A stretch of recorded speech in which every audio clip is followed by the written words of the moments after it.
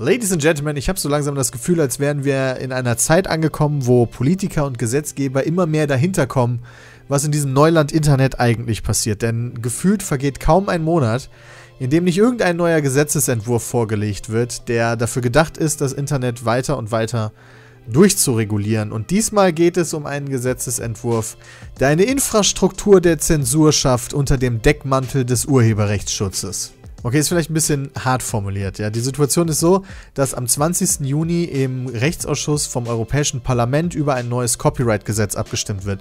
Zu Deutsch Urheberrechtsschutzgesetz. Denn das Europäische Parlament würde gerne die 28 unterschiedlichen Copyright-Gesetze der Mitgliedstaaten ein bisschen vereinheitlichen, was ja immer generell eine ganz gute Idee ist. Und in Zeiten des Neulands, wo alles von überall abgerufen werden kann, erst recht. Und Copyright an sich, beziehungsweise Urheberrechtsschutz an sich, ist ja eh was Gutes. Nur wie will man den gewährleisten in Zeiten des Internets, wo auf Plattformen täglich Millionen, Milliarden Beiträge hochgeladen und geteilt werden? Für manche ist die Antwort automatisierte Upload-Filter. Ja? Dass eigentlich alles, was so hochgeladen wird, wird halt analysiert mit Text und Video, Audio und äh, Bilderkennung. Und da wird dann schon gecheckt, durch eine Maschine, ob das jetzt Urheberrecht verletzt oder nicht. Und wenn es Urheberrecht verletzt, dann wird es gar nicht erst veröffentlicht. Dann taucht es gar nicht mehr auf. Das wird dann wegblockiert und äh, hat niemals stattgefunden sozusagen. Und genau diese Upload-Filter sind auch vorgesehen in dem Copyright-Gesetz-Entwurf, über dem jetzt am 20. Juni abgestimmt wird. Und sollten diese Upload-Filter wirklich kommen, wäre das mega scheiße. Denn durch solche Upload-Filter würde man sich wirklich eine Infrastruktur der Zensur schaffen. Und ich weiß, dass Zensur so ein Wort ist, das viel zu häufig benutzt wird und dadurch so ein bisschen eigentlich die Wirkung verliert und häufig auch falsch benutzt wird, aber ich glaube hier schon.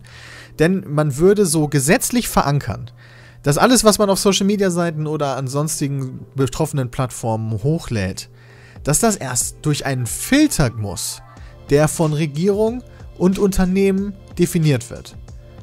Und das ist keine freie Meinungsäußerung mehr, ja. Das ist, ihr müsst euch das mal vorstellen, als wäre es nicht das Internet, was ja sozusagen eine Erweiterung der Kommunikation ist, sondern die direkte Kommunikation. Stellt euch mal vor, euer Mund hätte einen Filter. Ihr könntet nicht mehr alles sagen, was ihr denkt, sondern es muss erst durch einen Filter von Regierung und Unternehmen. Das wäre, das ist crazy, oder? Ich weiß, dass ich das ein bisschen überspitzt formuliere, um meinen Punkt klar zu machen und ich will den Gesetzgebern definitiv nicht unterstellen, so einen Upload-Filter einrichten zu wollen, nur um dann im Endeffekt die Bevölkerung zensieren zu können und Dinge zu blocken, die ihnen nicht gefallen. Ja, also ich meine, da könnte natürlich einiges drunter fallen, egal ob Systemkritik oder Fotos von Drogen oder äh, Tipps zur Steuerhinterziehung. Ja, ich glaube ja wirklich, dass die Upload-Filter gedacht sind, um Urheberrechtsschutz gewährleisten zu können. Aber wenn man erstmal so ein System installiert hat, ist die Infrastruktur geschaffen und der nächste Schritt nicht mehr so weit. Und davor habe ich Angst.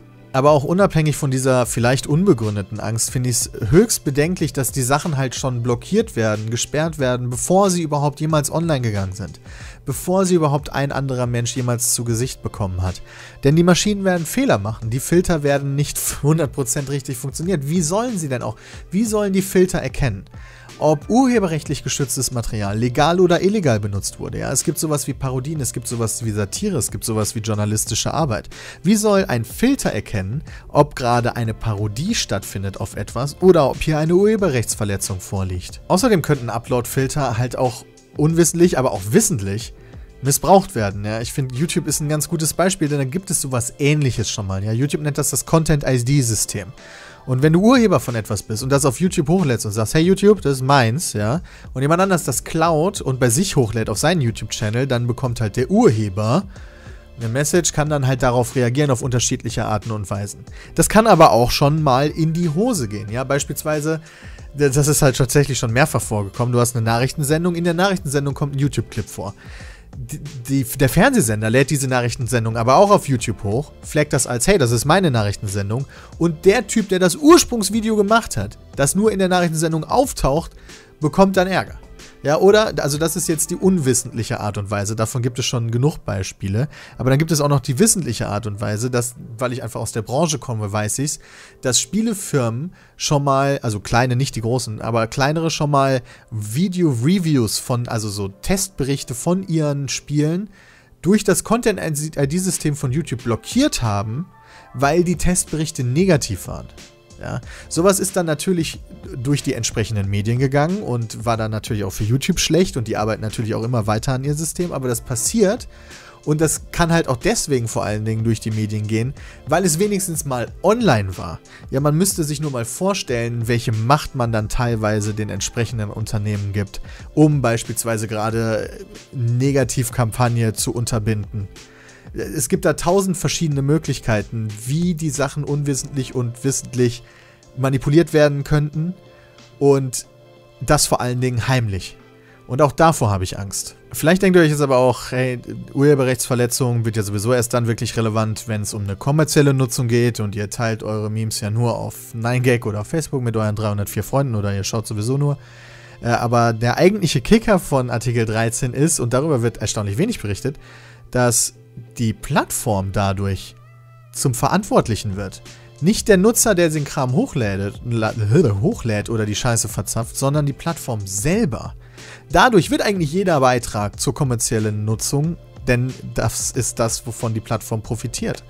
Und das öffnet erst recht die Büchse der Pandora, weil was das alles bedeutet, ist viel zu viel, um es hier in diesem Video noch einzubauen. Dafür versuche ich morgen noch ein extra Video zu machen. Aber das ist auf jeden Fall, das wäre abgefahren. Aber nochmal zurück zum Urheberrechtsschutz. Denn wenn Uploadfilter nicht der richtige Weg sind, meiner Meinung nach, was wäre denn der richtige Weg? Und auch wenn es nicht wirklich meine Aufgabe ist, das zu bestimmen, man soll ja nicht nur meckern. Ja, und ich, ich fürchte, es kommt immer wieder auf die Frage zurück, wie viel Wert man Urheberrechtsschutz im Vergleich zur Meinungsfreiheit gibt. Wie viel mehr Urheberrechtsschutz muss denn gewährleistet werden und das zu welchem Preis? Und ich bin der Meinung, es sollte nichts blockiert werden, bevor es nicht passiert ist. Ja, das heißt, Urheberrechtsinhaber müssten vielleicht schneller informiert werden, wenn eine Urheberrechtsverletzung tatsächlich vorliegt. Solche Systeme existieren bereits, wie YouTube, die könnten ausgeweitet werden. Plattformen könnten dazu verpflichtet werden, schneller darauf reagieren zu müssen. Ähm, aber es darf auf jeden Fall nicht sein, dass Maschinen bestimmen, was wir im Internet von uns geben und was nicht. Falls ihr auch der Meinung seid, könnt ihr beispielsweise an Petitionen teilnehmen, die in der Beschreibung verlinkt sind. Dadurch schickt ihr automatisch eine vorformulierte E-Mail an euren Abgeordneten, in der ihr ihn darum bittet oder sie darum bittet, gegen Artikel 13 zu stimmen. Ähm, aber ich habe mal mit äh, meinem Kumpel Timo Wölken gesprochen, den einige von euch ja sicherlich auch kennen, der auch im Europäischen Parlament sitzt und der heute in einem langen Telefonat mir versucht hat zu erklären, was gerade eigentlich passiert. Und äh, der meinte, diese ganzen, diese, diese Wust an vorformulierten E-Mails mit alle dem gleichen ähm, Betreff äh, bringen nicht so viel. Ja, also es würde tatsächlich mehr bringen, wenn man selber eine E-Mail formuliert oder sogar anruft. Und äh, eure Abgeordneten findet ihr auch über einen Link in der Beschreibung. Generell wird aber am 20. Juni erstmal vom Rechtsausschuss abgestimmt. Ja? Also nicht von allen Abgeordneten vom Europäischen Parlament, sondern nur vom Rechtsausschuss. Und die deutschen Abgeordneten vom Europäischen Parlament, die da drin sitzen, sind sowieso fast alle gegen Artikel 13, was nicht heißt, dass es klar wird am 20. Ähm, es ist noch sehr, sehr unklar. Ähm, aber nicht alle deutschen Abgeordneten sind gegen Artikel 13. Es gibt eine Ausnahme und das ist Axel Voss, dessen Internetseite auch in der Beschreibung verlinkt ist. Er setzt sich sehr stark für den Artikel 13 rein.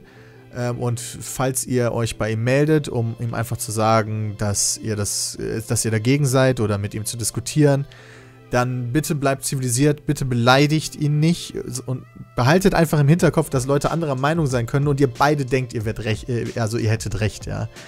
Da wird niemand böse sein, sondern man ist einfach von anderen Dingen überzeugt und es wäre jetzt schrecklich, wenn jetzt irgendwelche Beleidigungen auf ihn zukommen. Und abschließend sei noch gesagt, dass das gerade alles auf europäischer Ebene stattfindet. Das heißt, auch wenn unsere aktuelle Bundesregierung in ihrem Koalitionsvertrag ganz klar stehen hat, man ist gegen Uploadfilter, ist das nicht deren Baustelle.